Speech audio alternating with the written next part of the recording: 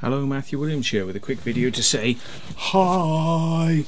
It's one of my favourite t-shirts actually. Should wear it more often. But um, just to say, uh, the update with the barge.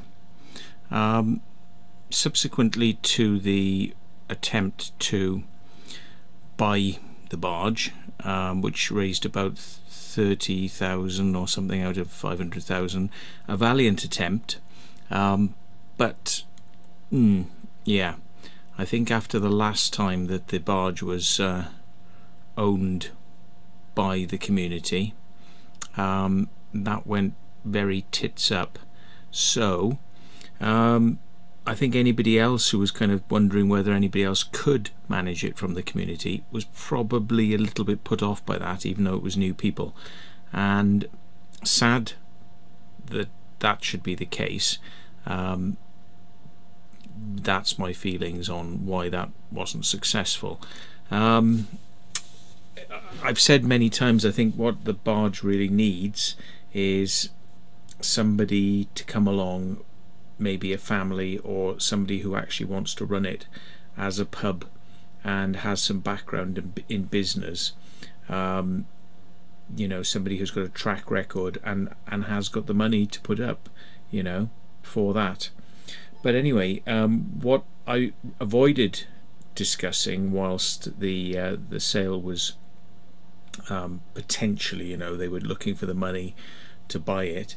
Um, I avoided saying what I'm going to say now, which is that my feeling is that this whole business with uh, Pietro Cuomo um, it, it was was false.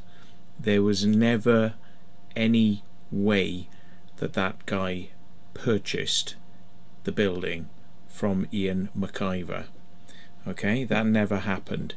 And funnily enough, since Pietro Cuomo has disappeared back to Italy, you know, if he ever came from Italy in the first place, do we even know whether he came from Italy?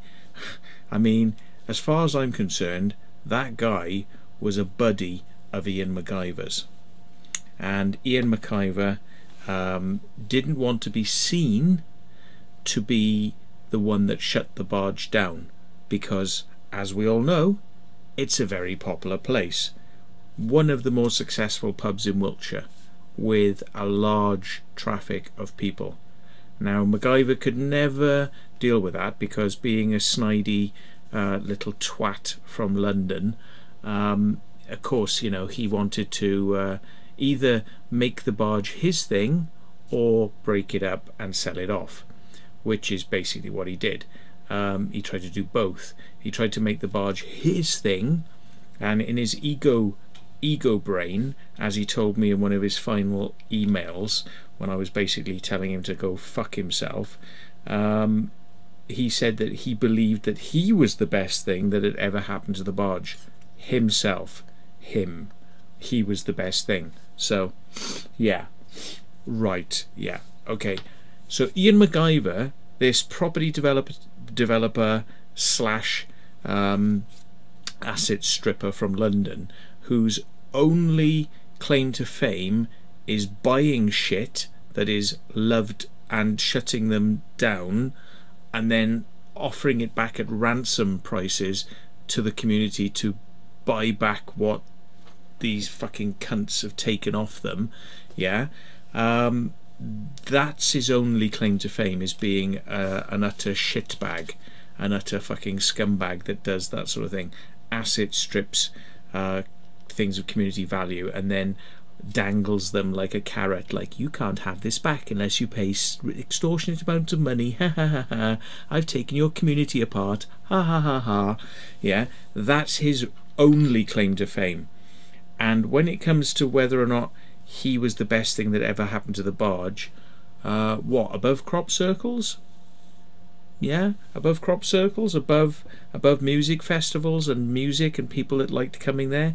What him, Mr. Asset Stripper, was the best thing that happened to the barge. Really?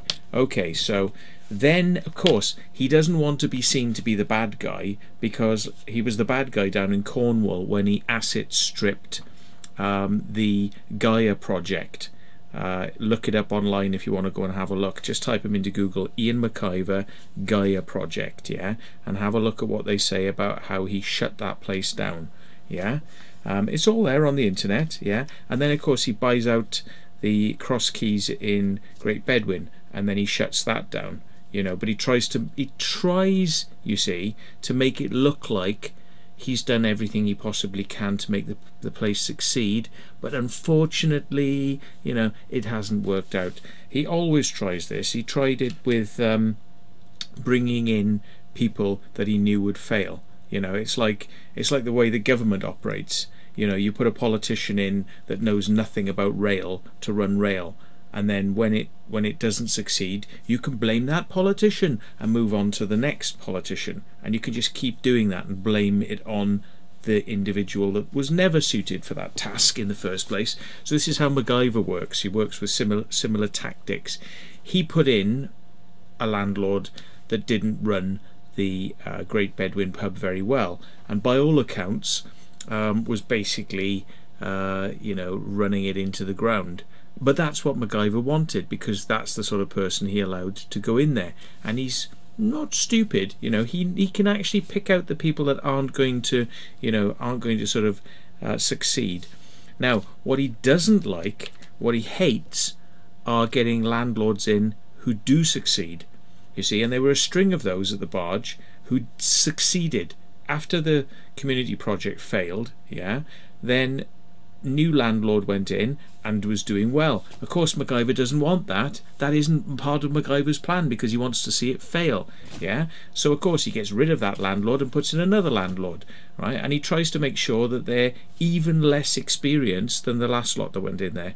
Now, you know, if you're watching this, landlords, this is not a criticism of you because you all did really well, which McIvor didn't want you to do. You see, so he got somebody that had no experience in the pub trade, brings them in, and he's thinking they're not going to do well. They got no hope in hell, no experience in the pub trade, and they come across as kind of like wannabes. Yeah, and that's what he that's what he did. He brought these people in who who, who wanted to run the pub, but he didn't think we're going to be able to do it and when they started succeeding he made it absolutely impossible for them to carry on you know raise the rent stipulate awkward conditions come in and make their lives hell you know until they wanted to leave and then get another one in. And he basically worked his way through these people. And and eventually he realized because the spirit of the barge actually uh, brings people out of themselves, these landlords who came in with very little experience actually decided we really enjoy running this place and we'd like this to succeed and then actually started excelling. And once that started to happen he made it clear he wanted to get rid of them. So every one of the landlords that was there made a really good attempt at it. But of course they had this moron called McIvor you know trying to manipulate manipulate behind the scenes to make it as awkward as he possibly could for them right? Now, then it was obvious to him that he wasn't going to make the pub obviously fail, yeah, publicly fail. So he just he just shut it down, and he said, right, fuck this, fuck this, I'm selling the place, yeah, and he sold it to a person who was going to turn it into a restaurant, an Italian restaurant, yeah, right, and was violent and was basically a horrible pig to everyone that went in there. You know, he did everything within his power, yeah, to alienate everyone who came in through the door. Yeah. I mean, you've only got to look on TripAdvisor for what Pietro Cuomo did. But everybody's like, you know, they only they, they don't they don't see they don't see how this works, yeah? McIvor didn't want to be seen to be the one to close the pub down. But every manager who ever worked there would tell you this guy didn't want this place to succeed. Yeah, they all said that. They made it so hard for the managers to operate. Yeah, that basically every manager had to leave. Then he gets this guy in, right? And he says, "Oh, I've sold the pub to this Italian guy. I've sold the pub to an Italian man. Yeah, he's running it now." And of course, it's a front. It's a complete and utter front. Yeah, he oh, he obviously knows this guy. Yeah, he knows this guy, and right from day one, there was talk behind the scenes, which got back to the staff about them being, you know, in partnership together. This was not a sale, this was a partnership, yeah? This guy was brought in for a reason, yeah? Probably because he's a bit of muscle, yeah? He's going to punch a few customers and he's going to make everyone hate the pub and not want to go there, i.e., it's going to fail one way or another, yeah? In the end, he ended up punching me and slamming me in the head with a with a um, piece of wood, knocking me out. Yeah, and then he did his flip then, and then the pub had a legitimate reason to close because of all the problems that this guy had had. So then he's gone back to Italy. Yeah, so he's gone back to Italy. So if he sold the pub to this chap, right? And if he, as he told me in his final emails, yeah, McIvor said, yeah, it's all paid now. He's paid for the pub and it's out of my hands, yeah. If that was true, then how come when that pub closed down, the only person that was seen at the pub afterwards was McIvor and his wife? Yeah? Who the fuck would believe, right, that the stupid moron would go back there, right? There they were, keys, letting themselves in, looking around the place, yeah, and taking people in there, taking people in there to show them around to sell the place. Now, who believes at all, who believes that they are actually not owners of that building? Why are they there? Why are they there? Why would they be there? Why would they have keys to the place? Right? Why? There's, there's two possibilities, right? Either the place was never actually sold in reality to Pietro Cuomo, which is what we all thought right from the word go. Yeah, it never belonged to that guy. This was just a front to keep McIvor out of the firing line because, you know, or two, maybe Pietro did pay something towards the building and maybe it reverted back to McIvor's ownership. Which, if you look in the contract, actually stipulated that you know obviously if all the money wasn't paid on the building that he would then become the owner again yeah and yet there he is there he is going around the pub going oh yes isn't it terrible isn't it terrible how the grass is growing out the back and oh if only I own, own, owned this place again I could do something with it but I can't do anything with it you know this kind of fatalistic bullshit pretense that he's putting on yeah well, what do you think? What do you think? Yeah? It's actually closed now, which is like the Great Bedwyn pub, the Cross Keys. It's closed and he's trying to sell it for an inflated amount of money. Yeah? Uh, well, but he's not getting any aggro for it. So he's managed to do what he wanted to do in the first place, which was close it down and try and sell it as a house. But of course, he's realised now with the opposition that Pietro had for the planning, he's never going to get it turned into a house. So of course he's now sitting on a lemon. But because he's such a stubborn little twat, yeah, he's not going to lower the prices and he's not going to open it back up and he's not going to allow the community to have their pub back, yeah? And he's just going to sit on it. And he's been sitting on the cross keys in Great Bedwyn for two years, yeah? and that has not moved and he is stubbornly trying to sell that pub as a house yeah and he's misleading people in the advertising for that pub telling them this is a this is a residential premises in the small print it's like but it's actually commercial and you'll have to run a business from it in order to live here because it's a commercial premises and he hasn't been able to convert it to residential because the locals won't allow him to do it. So he's keeping the price high and he's going to sit on that premises for another two years or another five years. And he will sit on that premises until he gets what he wants which is to turn a pub into a residential premises to try and sell it for maximum money. And this guy does not care what the community thinks. He does not care about anyone or their or their feelings towards that pub. He does not care that he lives in London and this community that is their hub. That's the only pub they've got. and it's in the summertime. It was where the crop circles, you know, people gathered for the crop circles, and loads of people used to camp. Right? Hmm? He doesn't care about that. He also doesn't care that the planning was botched. Yeah, and basically he did a load of changes to that barn which was built which was supposed to be for the community. Remember that barn was was given planning permission for it to be a building to be used for the community. And he never let people use that building one fucking day. Not one fucking day did he allow that barn which was built with planning permission to be for the community. Not one day did that get used for the community. He kept that shut. Yeah?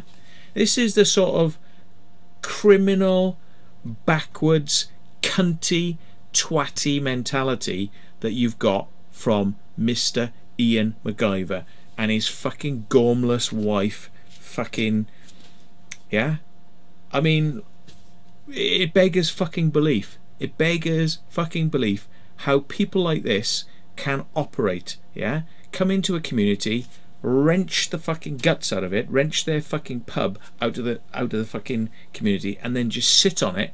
And he's just sitting there and and using the pretense of oh, well, it wasn't me that shut it down; it was the Italian. You see, so it's not I'm not being the bad guy because everywhere Ian McIvor has gone, he's left a fucking dirty snail trail, a dirty fucking stinky snail trail of close it down, hold the community to ransom, yeah, try and break it up, split it into separate parts, split it up, fuck it up, fuck it up, and fuck everyone off, yeah? That's what he does.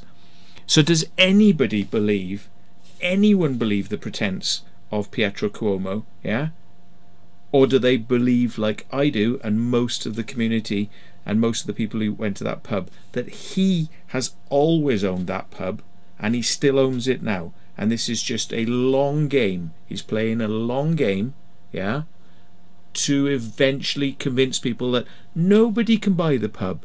Nobody can buy the pub. Yeah, well, of course, you can come and want to buy the pub, but he's not going to sell it to you for the realistic price. And nobody's going to get ripped off. They're not going to get ripped off. So it's just going to sit there. And that's what he does. Want to buy the pub? Yeah, million pound. Yeah, yeah. And it's not worth a million pound. It's worth five hundred thousand pounds. That's the valuation fee of that pub. But he wants twice the amount it's worth. So of course nobody's going to buy it because everyone who's going to value the place, you know, anyone who's got any sense will come along with their own valuation people and say how much is this worth? And they'll say, well, five hundred thousand. Yeah, you know. And of course he's going to sit on that and sit on it and sit on it and sit on it and sit on it until he gets what he wants five years down the line. What he thinks he's going to get what he wants. He thinks he's going to turn it into a residential. Ain't never going to happen, pricko. Yeah? You can sit on that fucking pub for donkey's years because the community will never let you have that as residential. It will never happen, pricko. So you can sit on that fucking £400,000 you paid for the place, yeah? And the £100,000 you put in to doing works, a lot of which was paid for by the lottery money which you fucking kept, yeah? So, yeah, that place is worth 500 grand and that's what you'll be fucking getting for it, yeah? And you can sit on it as long as you fucking like, yeah? The community know who you are, and the community know what a fucking shitbag you are. Right? So I honestly don't know how you've got the nerve to show your face around the place and try and pull this shit on. But trust me, right? You can try your little, oh, it doesn't belong to me. It doesn't belong to me. And your fucking wife can go mouthing off to people about what rubbish they should be putting in the bins like it's got anything to do with you. Yeah? You don't own it, apparently. Apparently, you don't own it. So why are you and your wife gobbing off to people about what they can and can't do in that place when it's closed down and some bloke from fucking Italy apparently owns it and he's not round there telling anybody what to do. So what the fuck's it got to do with you? Eh? It's got a lot to do with you, hasn't it? Because you actually fucking own it. Yes. So if you own it, like they say, if you own it, then fucking own it. Own it, bitch because you're a little fucking bitch. And I tell you what, long after you fucked off from that place, the pub will live again. And you know what? They'll rue the fucking day you ever fucking had your hands on it. You're the best thing that ever happened to the barge. You're the best thing that ever happened to the barge. Mate, you're the fucking worst thing that's ever happened to loads of fucking communities, yeah? And the day you realise that they don't like fucking psychopaths and they don't like cunts from London with their money coming in and fucking up their communities, the day you realise that, motherfucker, is the day you'll probably actually learn to start fucking treating people better. So, for now, thanks very much, and no, your lie didn't work, Mr. McIvor, yeah? Fuck you. That the respect you wanted from everybody, yeah, you didn't get it, did you? Why? Because you were a cunt. So, thanks very much for watching.